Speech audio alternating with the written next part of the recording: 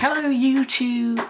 Well, I'm a very random sort of guy and nobody likes me really, so it'd be perfect if I made some movies. So, well, I've got this um, new sort of stuff here. It's space putty, but I don't know, how do you say it? Is it putty? And I didn't think that anybody had made a movie about it before, so I thought that I would. Look, look at it. Mm, isn't it just lovely actually? I haven't read these instructions yet, so not suitable for children under three years, so I probably shouldn't use it. But, um, do not place in oven. Hmm, sounds like a good idea, but not to be eaten. It just looks so tasty. Mmm. It's like eating a marshmallow. But a bit chewier. It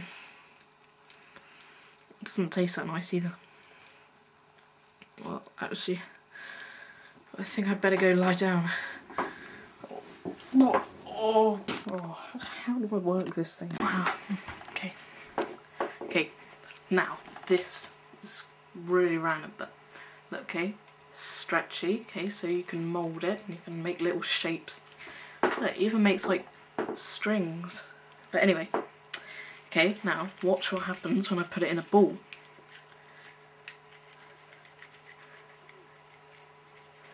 takes a lot of moulding skill. Look at that, oh, isn't that amazing? Okay, so at first it's squid, now in a ball. It's not, look what happens when I throw it on the floor. Oh my god, but, oh, Jesus. Don't tell me it's gone under the drawers. I hate it when it does that.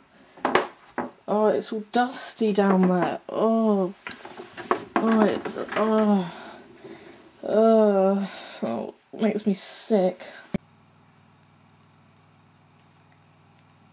If you think me making a video out of this stuff is sad, then I bet there's a video out there somewhere of someone sucking off a horse. And you go watch that.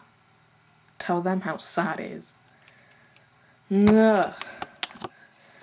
Oh god, it's everywhere. Oh. Yeah. Does anybody like me yet? This stuff is poisonous, for God's sake. Bored.